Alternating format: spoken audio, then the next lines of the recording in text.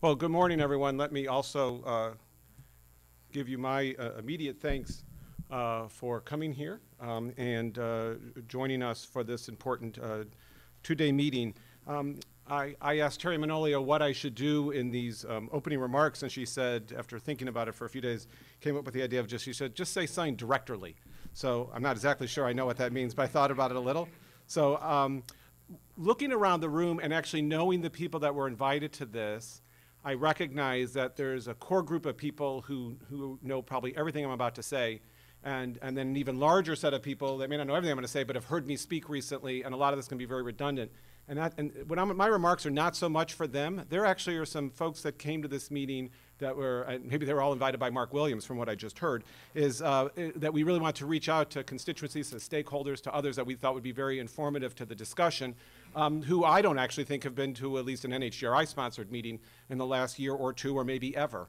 And so I really thought it was important as a new guest to our community um, to set the context uh, especially for them, and I'll hopefully you'll, the rest of you will hear something you want to hear that'll be of value. But I do think setting a context in a meeting like this, uh, which which was started um, by hearing the introduction about the first couple of genomic medicine meetings, um, is important, but in particularly for the, for the new faces. There's a lot of places I could then start for setting the context, but I just want to put you in the brains, if you will, of NHGRI um, and are thinking about what we are trying to accomplish um, in, in, in, helping to fund and lead the field of genomics. To, to, to sort of calibrate progress in many ways, uh, we often uh, so, sort of have as the starting point of this the completion of the Human Genome Project, and recognizing that that in many ways catapulted the field forward um, and setting up a remarkable set of opportunities. Uh, NHGRI, by the way, is, is, is, increasingly getting obsessed with this date.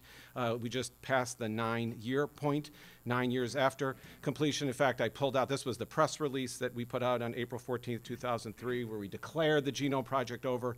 Um, I will tell you, we're planning all sorts of interesting things for the 10th anniversary of this, as you might imagine. It's a big deal. 10 year, next April will be the 10th year. Um, and so we really think a lot about how far we have come and how much time has elapsed. For example, you may not know it's been 3,307 days since the Genome Project ended. It's actually 79,000 hours and a little over 4 million minutes. And I've even even down to the seconds. But really, what we think about more than anything is has the time been well spent? And, and much of our time since the end of the Genome Project for NHGRI's perspective was very much focused on a vision we put out and published in 2003, the day the Genome Project ended, uh, that really described um, a path forward for taking advantage of the opportunities um, that were put forth by having a reference human genome sequence and lots of ideas about how to capitalize on the technologies and data that came out of the Human Genome Project. And I think it's fair to say that the successes since the end of the Genome Project have been um, impressive year after year after year. Uh, accomplishments, just a highlight reel is shown here on this timeline. And I think in many ways, the pace at discoveries that have happened and advances, especially technological advances in genomics, have actually, in, in many ways, happened faster than any of us could have predicted, even the most optimistic of individuals back in 2003. And so where we find ourselves now, of course, is that imagery such as this, which you always envisioned eventually would be relevant, applying genomics to clinical medicine, um, but we didn't know when this would happen, uh, we find that it's relevant now. Um, and it actually became relevant uh, just not that long ago. And so the data that's been generated since 2003, the technologies that have come about, have created remarkable opportunities for making these kind of images a very real one, real ones. If I was going to single out, it's probably obvious to most of you, but just again to the guests who are here, what drives this in our brain more than anything else, if I was going to give you one example of what has happened since 2003 that pushes us faster and faster into imagery like this, of course it relates to the development and advancement in the technologies for sequencing genomes. And um, many of you sort of recognize this as sort of our, our iconic view uh, which we uh, now have uh, and show frequently, uh, the precipitous drop in the cost of sequencing DNA, sequencing human genomes, um, uh, going faster than Moore's Law and really making possible the kinds of studies we're going to hear about today that without this advance, we would not be at this meeting today without any question. If you just want to put specific numbers on, again, for especially those of you who don't think about genomics day in and day out like some of us do, um, if you go back to the sequencing of the human genome as part of the Genome Project, That was an endeavor that took six to eight years, cost something on the order of a billion dollars, depends exactly what you count and what you don't count, but if you round up, it's about a billion dollars for that first sequence. The moment the Genome Project ended, the estimates were if we went then to sequence a second genome using the technologies that were available at that time, it still would have taken something on the order of three to four months and still would have cost something on the order of 10 to 50 million dollars. Again, we could never be talking about what we're going to be talking about today and tomorrow if that was the price tag for sequencing an individual's genome. But what's happened with new technologies, fancy, all sorts of different technologies, today we can sequence a genome in two to three days for something like four to eight thousand dollars, maybe even cheaper in some people's hands. And of course, what is even more remarkable is we can sequence the coding regions. The whole, whole exome sequencing now is routine for under thousand dollars. Um, and as a result of that, it allows the kinds of studies that we're going to be talking about to become very real here and now. So I give this as an example. There are other things that have advanced the field remarkably, but I think more than anything, it's, it's, it's, it's slides like this that summarize what really changed uh, many things for us. And we recognized that several years ago that the field was going faster than we had even anticipated. And so it was time to put out a new strategic vision, which looking around the room, many of you were involved in many workshops and many deliberations. And we just heard, um, as Dan pointed out, the, the Airlie meeting that was the final uh, major meeting that led to uh, input that we collected before we finally put the, the, the, final form, this strategic uh, vision that was published just a little over a year ago. And if for any of you who have not seen this or want to get access to it or any of the other things about our strategic planning process, of course you can go to this convenient URL and get that information. What the strategic plan, I'm just going to just again for the new folks here, uh, describe is a, a new vision for moving from the base pairs of the Human Genome Project to the bedside of patients, or if you prefer the metaphor, from the double helix to human health, and doing so now in a way that's far more descriptive of the steps that are going to be needed to actually um, implement genomic medicine in a very real and practical way, but still require an enormous amount of research that was going to be required, but now would be organized into five major domains of activity.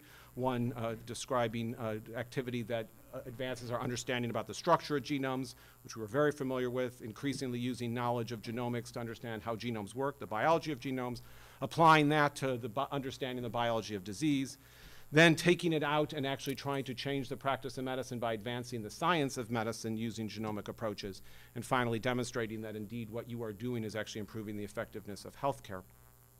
These five domains represent the organizing framework for our strategic plan, which we um, encapsulate in graphic form in figure two in the strategic plan, which now is the icon that I can tell you the Institute sort of looks at uh, critically and almost constantly, describing the five domains, but then describing in these hypothetical uh, density plots uh, progress in, in, in, accomplishments that are taking place across those domains in different time intervals dating back to the Genome Project and looking out into the future.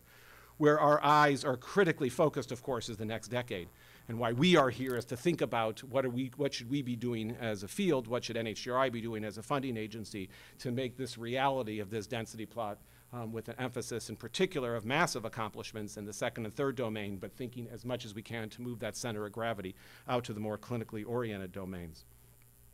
So in thinking about this, uh, what we want to do in workshops like this, in meetings like this, is to help us uh, very much think about our future um, because the investments that we will make in genomics now uh, will very much change the future of this field, and we want to make those investments widely, wisely and productively. Dan set me up very nicely um, uh, in, in, in, pointing out that at this early meeting, which was the, the last meeting where the community had substantial input into what eventually became our new strategic vision, he, he described debate.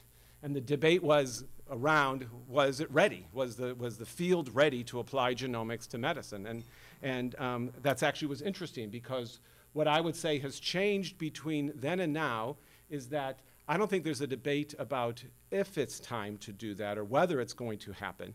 But the debate that I want to describe to you is a very real one, and, and uh, thinking ac across these five progressive domains is not so much if it's going to happen, but the rate at which it's going to happen.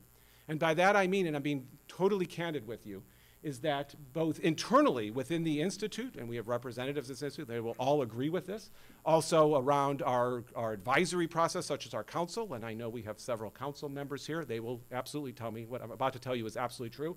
And I hear constantly um, from members of the community.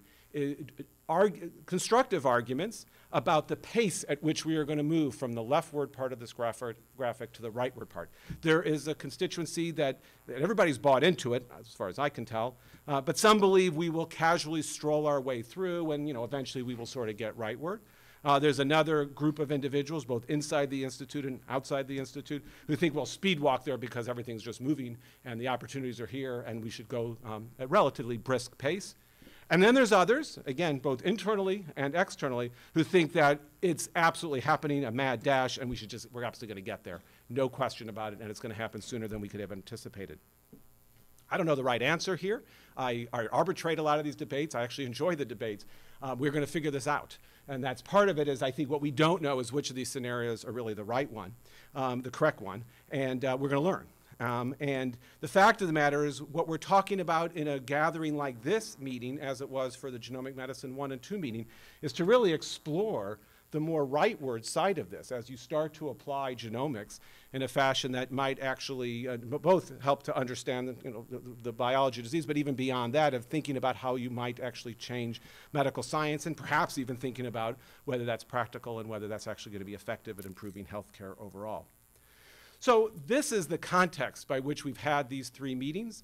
The other key context that I really want to stress, especially from NHGRI's point of view, is the reason we're having these forums is our acute interest in learning.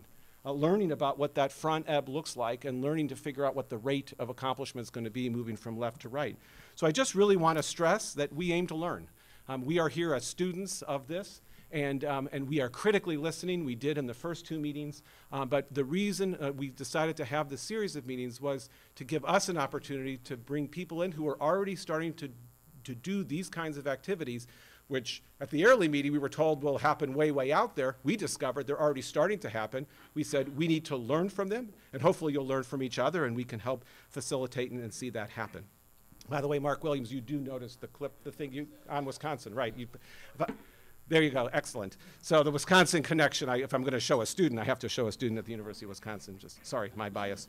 Um, and uh, so that's that's really what I hope. I uh, really want you to recognize how appreciative we are of having you come here and to the other meetings, basically to teach us and to help educate us about what this looks like. And we hope you get something out of this as well. And the other thing that I, I really want to stress that NHGRI is, we are still students of some of this, is, is do recognize that across these five domains, uh, we're really good at this. I mean, this is, this is our bread and butter for a long time. These domains, basic science, the Human Genome Project, and even understanding genomes, that is absolutely our comfort food. We're, we're, I think we're pretty good at it. Um, and we are getting to be better and better at translational science as you move rightward, and, uh, but we still have a lot to learn. But again, uh, that is something that we appreciate is important, and we are trying to you know, get more and more competency in that area.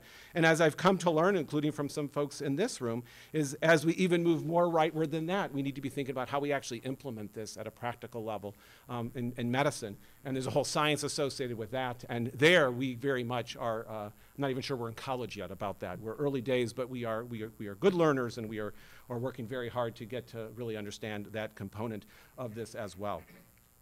So that's mostly what I wanted to tell you. I think very much in the spirit of, of making you appreciate that we very much um, uh, regard this as a work in progress. This is something we need to learn about as we try to understand the kind of programs we're going to put across um, in the coming years. And that's exactly the kinds of things we want to learn about in genomic medicine, specifically by many of the people in this room. So I was thinking about a best way to close, and I'd like to close with quotes, at least for some of my talks. And I was pondering what would be the best one. And I was sitting in my office yesterday, and then all of a sudden I looked up. Literally, um, I, and I saw a quote that I have above my door in, in my office at work, and I just took a photograph of it because I thought it was really appropriate. It's an Einstein quote I'm sure many of you heard. If we, if we knew what we were doing, it wouldn't be called research. And absolutely, that's what we feel like. I mean, this is absolutely research, and we are trying to figure out um, exactly the best way to move forward. We're trying to learn from you and others, and we'll be listening acutely. So with that, I will close, um, and I actually still think we're ahead of schedule, uh, so which is always good. If there are any immediate questions for me from an NHGRI perspective or big picture, I'm happy to answer them. I'm going to be at this entire meeting. You can also catch me at a break. But are there any, any immediate burning questions about anything I said?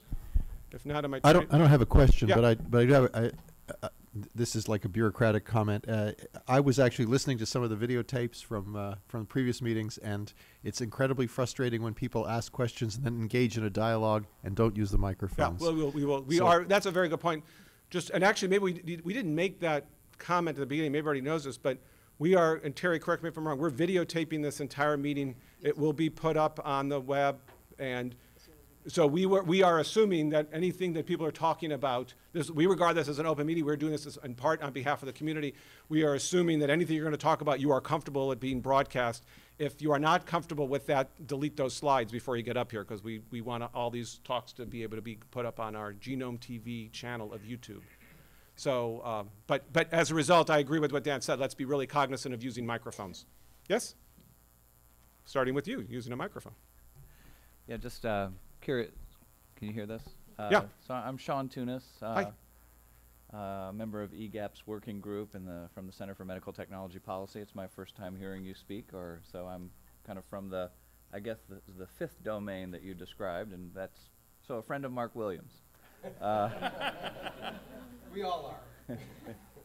Um, yeah, was, and so I, I haven't really looked at the participant list, but uh, you know, many of the things that you described in the sort of implementation research, there's obviously lots of folks around NIH who think, you know, daily and deeply about those things, and I and I just wonder to what extent NHGRI, you know, works closely with folks from you know all around NIH on you know to kind of dive into those other areas as well, or whether it's mostly an outward facing to you know folks like.